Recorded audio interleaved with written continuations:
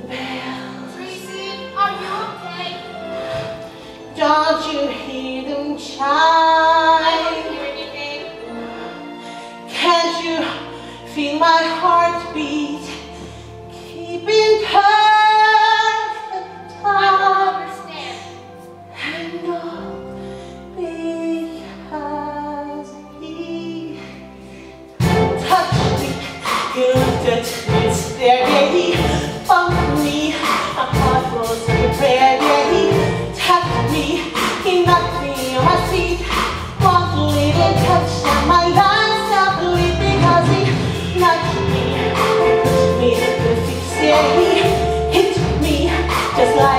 Amen.